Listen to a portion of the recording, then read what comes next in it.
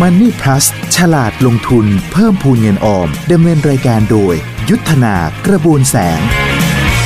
สนับสนุนโดย บริษัทปตทสำรวจและผลิตปิโตรเลียมจำกัดมหาชน บริษัทสตาร์แฟกจำกัด ผู้จำหน่าย Mercedes-Benz อย่างเป็นทางการ 02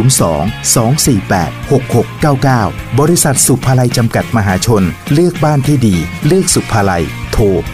1720 หรือ www.supalai.com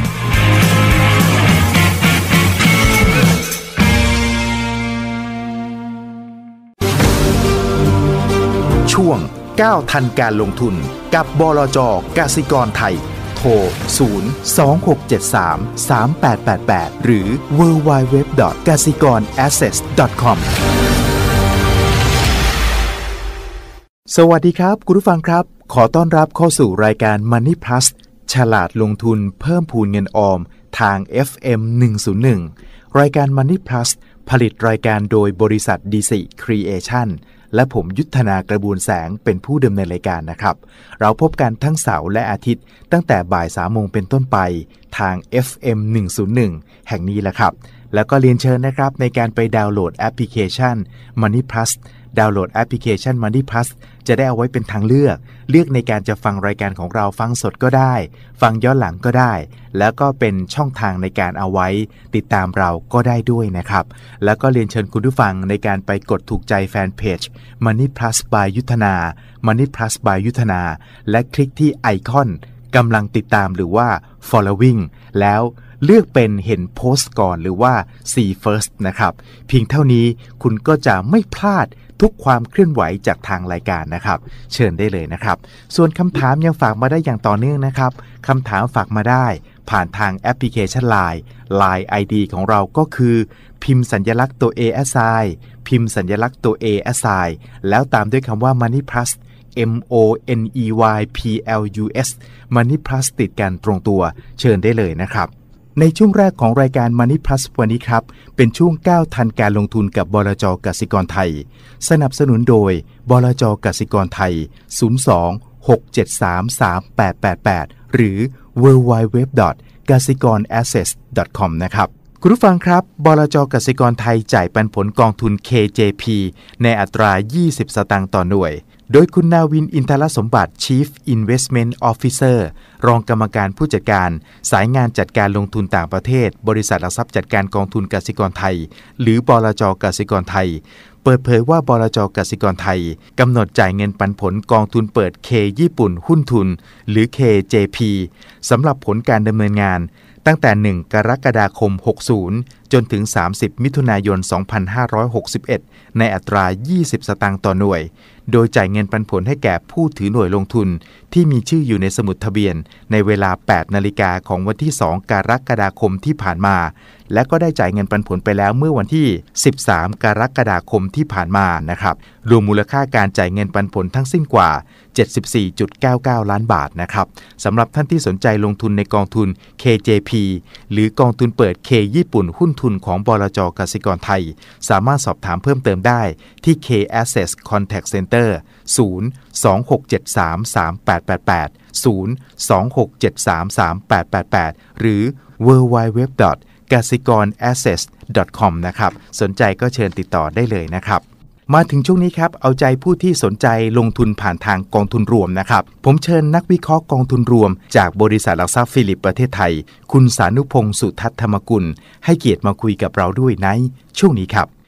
คุณสานุพงศ์สวัสดีครับครับ สวัสดีครับอาอยากฟังมุมมองจากทางบริษัทหลักทรัพย์ฟิลิปประเทศไทยสำหรับหุ้นไทยไตรมาสสามหน่อยนะครับ ครับ คุณสนุพงศ์มองว่าประเด็นสงครามทางการค้าระหว่างสหรัฐกับคู่ค้าสำคัญสำคัญโดยมีจีนเป็นหลักเนี่ยครับ จะกดดันตลาดหุ้นทั่วโลก และตลาดหุ้นไทยอีกนานไหมครับเนี่ย ครับ เรื่องนี้เป็นเรื่องยาวเลยครับ ไม่จบอืมง่าย ๆ แน่นะคครัรับ บ ถ้าเกิดเราดูกันตอนนี้เนี่ย เรายังไม่รู้เลยว่าตอนนี้มันจะไปจบยังไงครับนะครับทรัมป์เองก็เริ่มที่จะมีมาตรการต่างๆ ที่จะออกมา จีนก็เริ่มที่จะตอบโต้กลับไปนะครับ ถ้ายังไม่เห็นการเจรจาเนี้ยผมว่าจบยากอืมนะครับ มันจะเป็นความไม่แน่นอนที่อยู่ในตลาดต่อไปนะครับครับทีนี้เนี่ยถ้าเกิดเรามาดูสถานการณ์นะครับตัวสหรัฐกับจีนเองเนี่ยเป็นประเทศที่มี GDP ใหญ่ที่สุด 2 ประเทศ ยักษ์นะครับใหญ่ทั้งยัคู่กษ์อะใหญ่ทั้งคู่ ถ้ามันตีกันเนี่ยผลกระทบกับประเทศเล็ก ๆ ทั้งหมดในโลกเนี่ยอันเนี้ยโดนไปด้วยอืมนะครับเพราะฉะนั้นเนี่ย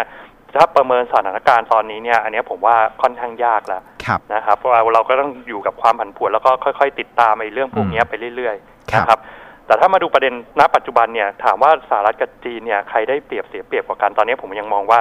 สหรัฐเนี่ยน่าจะได้เปรียบจีนอืมมากกว่านะคครัรับบอย่างแรกเลยคือตัวเลขนำเข้าส่งออกเนี่ยเราเห็นชัดเจนว่าจีนส่งออกไปสหรัฐเนี่ยค่อนข้างเยอะใช่นะครับเพราะฉะนั้นสหรัฐตั้งกำแพงภาษีเนี่ย เมื่อเทียบกับจีนตั้งกำแพงภาษีเนี่ยสหรัฐทำได้เยอะกว่าจีนเยอะครับนะครับ อย่างแรกนะครับ อย่างที่สองคือด้วยตัวเลข contribution ของตัวสัดส่วนการส่งออกใน GDP ของแต่ละประเทศเนี่ยของจีนเนี่ยเยอะกว่า เพราะฉะนั้นผลกระทบจากเศรษฐกิจการชะลอตัวของการส่งออกเนี่ยของจีนก็จะเยอะกว่าสหรัฐครับนะครับ เพราะฉะนั้นเนี่ยเราโดนด้วยไหมเนี่ยครับอัเนี้ย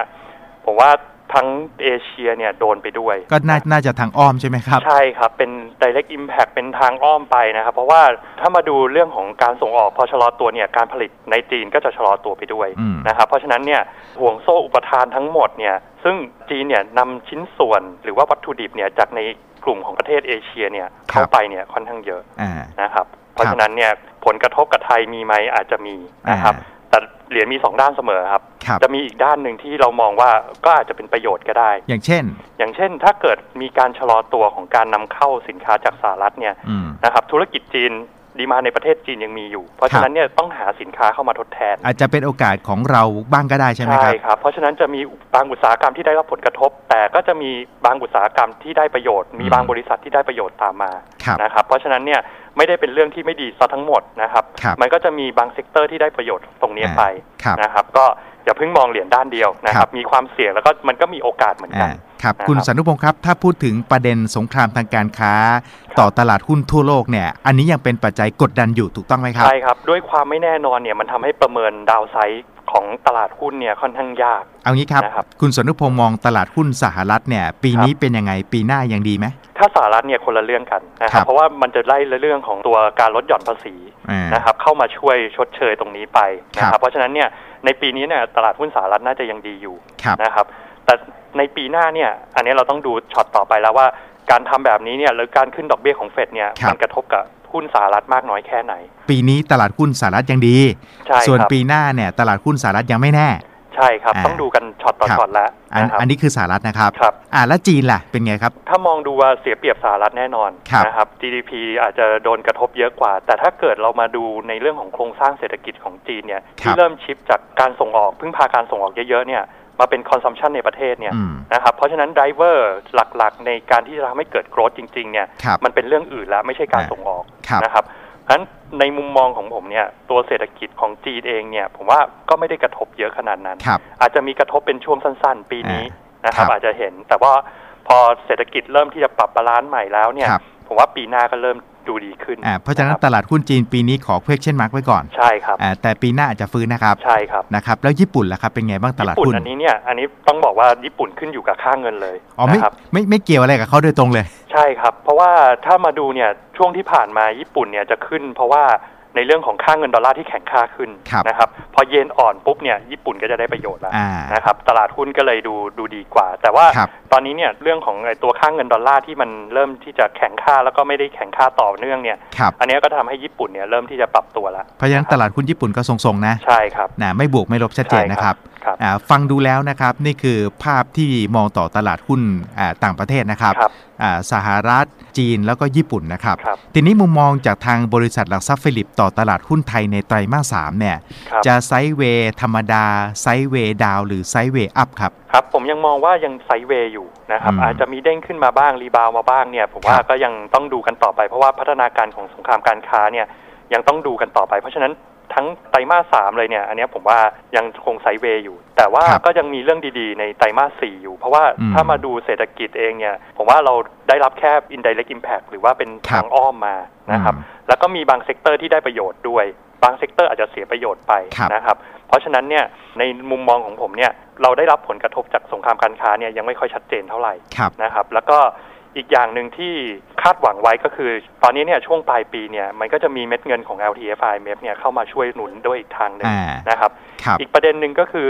ถ้ามาดูเม็ดเงินของต่างชาติที่ออกไปเนี่ยมันออกไปค่อนข้างเยอะแล้วครับนะครับ เพราะฉะนั้นเนี่ยการที่จะออกไปมากกว่านี้เนี่ยอันเนี้ยผมว่าเป็นไปได้ยากขึ้นนะครับแต่แต่ว่าอาจจะเป็นจำนวนที่น้อยลง แต่ว่าจะนะครับกลับมาเมื่อไหร่ในะอีกทีหนึ่งอ่าอีกทีหนึ่งใช่ครับครับครับอ่ามองแนวโน้มหุ้นไทยไตรมาสสาม sideway นะครับครับและใช่ครับอาจจะมีฟื้นขึ้นมาได้บ้างในช่วงไตรมาสสี่นะครับใช่ครับบริษัทหลักทรัพย์ฟิลิปประเทศไทยมองหุ้นไทยปลายปีดัชนีสักเท่าไหร่ครับ ปลายปีเนี่ยเรายังมองไว้ที่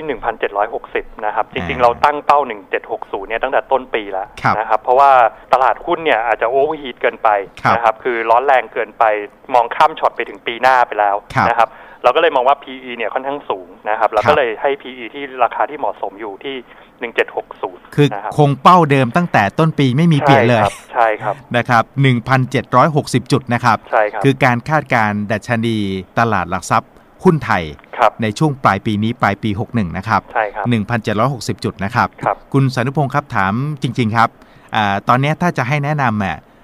เราควรจะเน้นหนักหุ้นไทย หรือว่าจะเน้นหนักไปที่หุ้นต่างประเทศดีครับในครับภาวะแบบนี้ ถ้าดูในต่างประเทศเนี่ยผมว่ามันมีความแน่นอนไม่เยอะ มุมมองที่มีต่อหุ้นต่างประเทศเนี่ยมีความไม่แน่นอนค่อนข้างเยอะใช่ไหมครับใช่ครับอืมใช่ครับ เพราะฉะนั้นเนี่ยการที่จะกลับมาในประเทศเนี่ยผมว่าอันเนี้ยน่าสนใจกว่า เพราะว่าหนึ่งคือเราไม่ต้องสนใจเรื่องค่าเงินด้วยครับนะครับสองคือปัจจัยที่เข้ามากระทบเป็นเรื่องของ indirect impact เพราะฉะนั้นเนี่ยครับ พอไม่ใช่ทางตรงเลยเนี่ยมาผลกระทบมันก็จะไม่ค่อยเยอะเท่าไหร่ครับนะครับอ่าถ้าถามก็คือว่าอยากจะแนะนำเน้นหุ้นไทยมากกว่าใช่ครับหุ้นต่างประเทศถ้าไม่ชัวร์เนี่ยก็เลี่ยงก่อนใช่ครับ อย่างนั้นใช่ไหมครับครับ เน้นหุ้นไทยนะครับครับเอาละครับ ถ้าคุณสานุพงษ์เน้นหุ้นไทยไปดูกันหน่อยครับว่าในมุมมองจากทางบริษัทหลักทรัพย์ฟิลิปประเทศไทย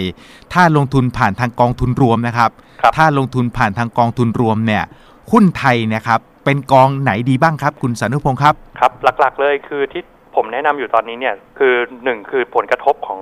ตัวสงครามการค้าเนี่ยมันมีแค่เฉพาะบางอุตสาหกรรมนะคครัรับบบางอุตสาหกรรมอาจจะได้รับผลกระทบบ้างบางส่วนนะครับอ่าหรืออาจจะไม่ได้รับผลกระทบเลย เพราะฉะนั้นเนี่ยหุ้นบางตัวเนี่ยจะได้รับผลประโยชน์ด้วยซ้อืมำนะครับการที่ลงอินเด็กซ์เลยอันเนี้ยผมว่าค่อนข้างเสี่ยง เพราะถ้าเราจะถ้าลงอินเด็กซ์แบบกระจายนั้นก็เสกไป ใช่ครับ เพราะฉะนั้นเนี่ยหุ้นที่ผู้จัดการกองทุนที่สามารถ selective หุ้นได้ถูกตัวเนี่ยอันเนี้ยผคมรับว่าเริ่มเห็นชัดแล้วว่า ตัวไหนจะได้รับผลกระทบบ้าง ตัวไหนที่จะไม่ได้รับผลกระทบบ้าง หรือจะได้ประโยชน์จากเรื่องพวกนี้ ต้องต้องนะครับเลือกเน้นเป็นรายกลุ่มใช่ครับ หรือว่าหรือว่าสเปค โดยเฉพาะใช่ครับแต่ไม่ควรกระจายโดยรวมใช่ไหมครับใช่ครับ เอาละครับครับถ้าเน้นลงทุนในหุ้นไทย มีกองเด่นๆ ที่จะมาแนะนำกับเราทั้งหมดกี่กองครับครับ ตอนนี้มีอยู่ 3 กองด้วยกันสามนะครับกองนะครับครับงั้นเป็นไปที่กองทุนหุ้นไทยเด่นกองแรกเลยครับครับ หุ้นไทยเด่นกองแรกเนี่ยก็คือตัว BTP นะครับของบัวหลวง อ๋อ BTP กองทุนเปิดบัวหลวงทศพลนะครับ ใช่ครับ อะไรคือความโดดเด่นของ BTP กองนี้ครับ ครับ ถ้ามาดูผลการดำเนินงานนะครับ ในส่วนของตัวบัวหลวงเองเนี่ยต้องบอกว่าปีนี้เนี่ยทำผลงานได้ดีมากครับนะครับ ช่วงที่ผ่านมา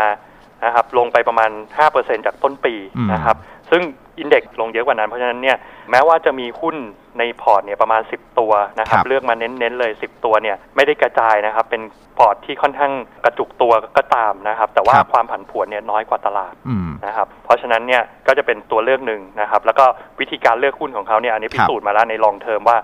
เลือกหุ้นได้ค่อนข้างดีนะครับครับคุณภาพค่อนข้างดีครับอ่าย้ำหน่อยอะไรคือนโยบายลงทุนของกองทุนเปิดบัวหลวงทศพลกองนี้ครับครับ ตัวนี้เนี่ยจะเลือกหุ้นนะครับที่พื้นฐานดีเลือกมาเลย 10 ตัวนะคครัรับบซึ่งค่อนข้างกระจุกตัวนะครับสำหรับกองทุนส่วนใหญ่กองทุนเนี่ยจะเลือกอยู่ประมาณ 25-30 ตัวอ่านะครับตัวนี้ก็จะเลือกเน้นๆเลยตัวไหนดีก็เลือกตัวนั้น แล้วก็ครับเวทน้ำหนักประมาณเกือบ10%นะเขาครับเขาเน้นใแต่ละตัวเขาเน้นหุ้นใหญ่เป็นหลักหรือเปล่าสำหรับกองนี้ครับเอ่อไม่ได้เน้นหุ้นใหญ่เป็นหลักนะครับอืมเน้นหุ้นที่คุณภาพดี เพราะฉะนั้นเนี่ยตัวเนี้ยอาจจะไม่ได้ตามอินเด็กซ์ นะครับครับอินเด็กซ์หน้าตาเป็นยังไงเนี่ยไม่ได้สนนะครับอืมเลือกหุ้นเป็นหลักเลย เพราะฉะนั้นเป็นสไตล์ที่เพียววัฒมาพเลยนะคครับรับอ่ากองทุนเปิดบัวหลวงทศพลของบลจบัวหลวงนะครับครับอ่าผลงานย้อนหลังเป็นยังไงบ้างครับ ผลงานย้อนหลังนะครับหนึ่งปีย้อนหลังยังบวกอยู่ประมาณ4%นะครับอ่าแล้วก็ถ้า year to date ตอนนี้เนี่ยติดลบประมาณ 5%กว่ากว่าๆ6%ครับนะครับนะกองนี้เหมาะสำหรับผู้ลงทุนกลุ่มไหนครับเนี่ยเหมาะสำหรับผู้ลงทุนที่ค่อนข้างที่จะเข้าใจนะครับว่า active fund คืออะไรนะครับอืม แล้วก็เป็นการลงทุนแบบ long term เป็นหลักนะครับอืมเพราะว่าบางครั้งเนี่ยมันอาจจะ underperform ตัวตลาดได้ แต่ว่าการคลรังบทุนใน long term กับกองนี้เนี่ยให้ผลตอบแทนที่ค่อนข้างดีในขณะที่ ความผันผวนไม่ได้สูงมากนักครับ ควรจะลงย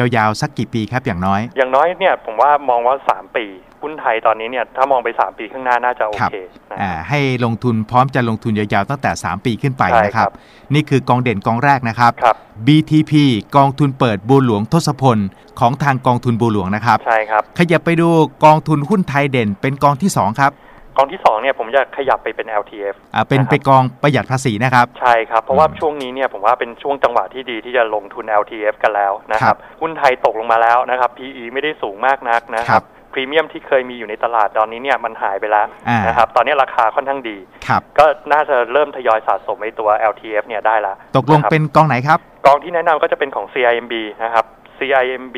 Principal FAM นะครับ LTF อ๋อ กองทุนเปิด CIMB Principal FAM หุ้นระยะยาวนะครับ ใช่ครับ เป็นกอง LTF นะครับ ใช่ครับ กองเนี้ยเด่นตรงไหนยังไงบ้างครับ กองนี้เนี่ยจะค่อนข้างเลือกหุ้นนะครับ ที่เป็นสไตล์ value นิดนึงนะครับ อืม คือเน้นมูลค่าของหุ้นที่อยู่ในพอร์ตนะครับ ครับ เลือกหุ้นมาประมาณสัก 20-30 ตัวครับเป็นหุ้นไทยทั้งหมด หุ้นไทยทั้งหมด อ่า ใช่ครับ ผลตอบแทนที่ออกมาตอนนี้เนี่ยต้องบอกว่าพอๆกับบัวหลวงก็คือ ตอนที่ลงเนี่ยก็ลงน้อยลงไม่เยอะครับนะครับลงเอ่อตั้งแต่ต้นปีมาเนี่ยประมาณ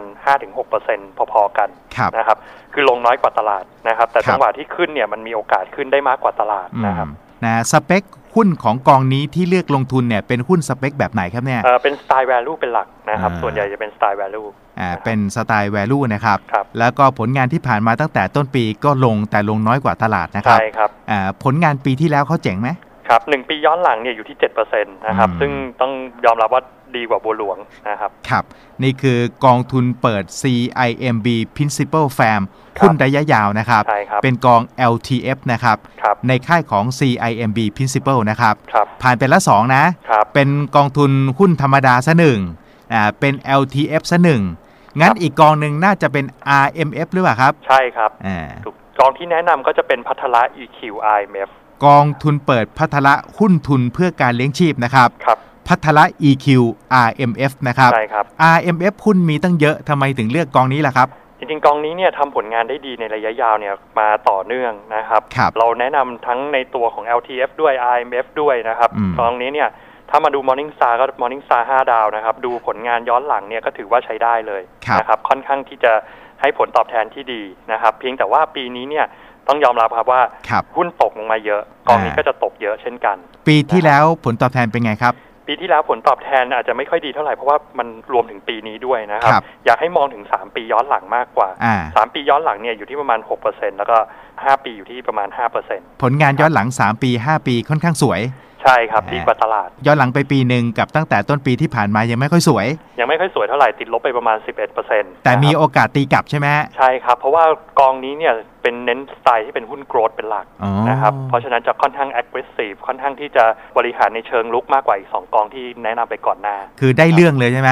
ใช่ครับ คือเลือกเลือกแบบได้เสียไปเลยใช่ครับเน้น growth stock เป็นหลักนะครับใช่ครับ เพราะว่าเรามองถึงระยะยาวมากกว่าอีก 2 กองแรกนะครับ เป็นครับ IMF เนี่ยเราต้องถือยาวกว่านั้นอ่านนะครับถืออ่ายาวกว่า 3 ปีครับนี่คือกองทุนเปิดพัทละหุ้นทุนเพื่อการเลี้ยงชีพนะครับครับและทั้งหมดนี้ก็คือ 3 กองหุ้นไทยเด่นจากบริษัทหลักทรัพย์ ฟิลิปประเทศไทยนะครับ ครับ 1 BTP กองทุนเปิดบัวหลวงทศพล ของทางกองทุนบัวหลวงนะครับครับ 2. กองทุนเปิด CIMB Principal Fam หุ้นระยะยาว ของทางบริษัทหลักทรัพย์ CIMB Principal นะครับ ครับและ 3 ก็คือกองทุนเปิดพัทละหุ้นทุนเพื่อการเลี้ยงชีพ เป็นกองประเภท RMF นะครับ ของทางภัทรนะครับ เอาละครับ มีอะไรเพิ่มเติมสำหรับนะครับผู้ที่ยังคงสนใจลงทุนผ่านทางกองทุนรวม ในภาวะตลาดแบบนี้ครับ คุณสานุพงศ์ครับครับ อยากจะฝากไว้นิดนึงครับ คือช่วงที่ตลาดผันผวนแบบนี้เนี่ยผมว่าเรากลับมาแล้วดูพอร์ตของเราอะครับครับ ว่าพอร์ตของเราเนี่ยมีความเสี่ยงเยอะเกินไปหรือเปล่าเออนะครับถ้ามีความเสี่ยงเยอะเกินไปเนี่ยเราควรจะปรับพอร์ตให้มีความเสี่ยงลดลงนะคครัรับบให้อยู่ในระดับที่เราสามารถที่จะยอมรับได้นะคครัรับบอันนี้จะเป็นประโยชน์มากกว่าก่อนที่จะไปเลือก ว่ากองทุนไหนดีกองทุนไหนเด่นเนี่ยจัด portfolio ให้เหมาะสมก่อนนะครับอืมแล้วเราจะผ่านช่วงสภาวะที่ผันผวนแบบนี้ไปได้อย่างราบรื่นครับนะครับกองต่างประเทศตอนนี้ยังเสี่ยงสูงอยู่เหรอครับ มีไว้บ้างก็ดีนะครับอืมเพียงแต่ว่าไม่ควรจะมีเยอะเกินไปนะคครัรับบถ้าเกิดเรารับความเสี่ยงได้ไม่สูงเนี่ย เราครัก็บไม่ควรจะมีกองต่างประเทศอยู่เยอะอ่ามากๆนะคครัรับบนะอันนี้ต้องดูความเสี่ยงที่เรารับได้ด้วยนะครับใช่ครับนะครับ สนใจลงทุนผ่านทางกองทุนรวมทางบริษัทหลักทรัพย์ฟิลิปประเทศไทยช่วยอะไรได้บ้างครับ ครับหนึ่งก็คือช่วยให้คำแนะนำได้นะครับ เรามีกองทุนเนี่ยครบทุกบลจที่อยู่ในประเทศไทยนะครับ เพราะฉะนั้นเนี่ยเราสามารถคัดเลือกกองทุนที่น่าสนใจนะครับ ขึ้นมาในช่วงที่ตลาดสถานการณ์เป็นแบบนี้เนี่ยกองทุนไหนน่าสนใจ เราสามารถคัดเลือกขึ้นมาได้ครับนะครับอ่าคือขายให้กับแทบจะทุกบลจเลยใช่ครับเป็นคนกลางที่แท้จริงนะครับครับอ่า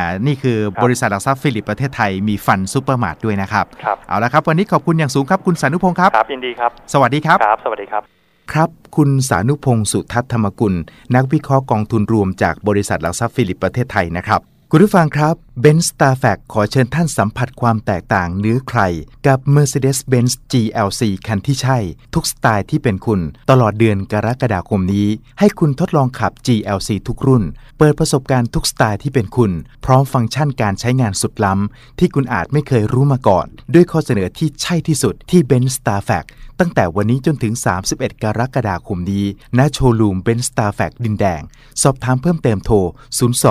248 6699 02 248 6699เอาละครับ เราจะพักกันครู่เดียว แล้วเดี๋ยวช่วงหน้ากลับมา ช่วงสุดท้ายของรายการ Money Plus ฉลาดลงทุน เพิ่มพูนเงินออมกันต่อครับ ช่วง 9 ทันการลงทุน กับบลจกสิกรไทย โทร 0 2 6 7 3 3 8 8 8 หรือ w w w g a s i k o r a s s e t c o m